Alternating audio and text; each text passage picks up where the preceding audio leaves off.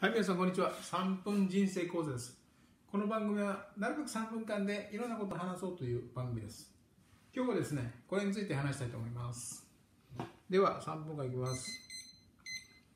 はい、えー、っとね、これ、なぜ英語を勉強した方がいいのかということですね。あのーまあ、今、小さい時から英語英語勉強ね、えーする方もいらっしゃいますし、えー学校ではほとんど英語が教育課程に入ってますよね。でなぜこの英語をしなあかんのかと。まあ当然ね英語を話した方が世界の人たちといろいろ話せるとかコミュニケーションできるとか、まあ、そういう利点もありますけどもね本質はですねそこじゃないんですね。本質はねこの学校でもどこでもいろんな英語を勉強させるっていう本質はやっぱりあらゆる情報は英語で書かれてるんですね。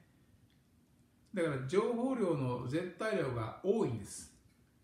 だから英語を勉強した方が得なんです。そこなんですね、まあ、当然先ほども言いましたようにいろんな人とコミュニケーションできるということもありますけどもね。そこなんです。だからね、えー情報量が全く違うと。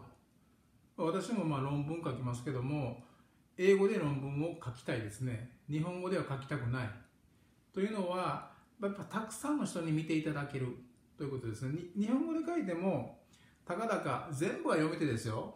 日本人全部が読めても、たかだか 1, 万1億2000万ぐらいでしょ。けども、英語で書くと、その数十倍ですよね。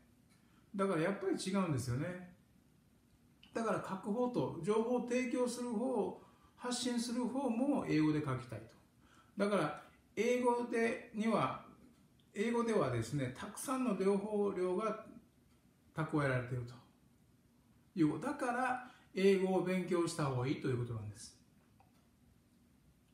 あのまあ、それはいろんな言葉ありますけどやっぱり限られてます。中国語でもいいんですけども中国語よりもやっぱり英語の方が絶対量多い。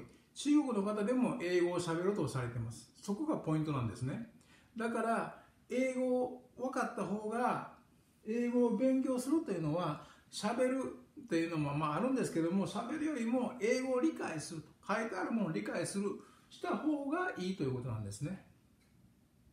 だからあの政府もいろいろ一生懸命英語を勉強させているということなんです両方情報量の絶対量が全然違うというだから皆さんも英語を勉強してください。やはりいい最先端の情報は英語にあります。だから英語を勉強するんです。皆さんで英語を勉強しましょう。しましょう。では、これで終わりです。では、会いましょう。ではまたさよなら。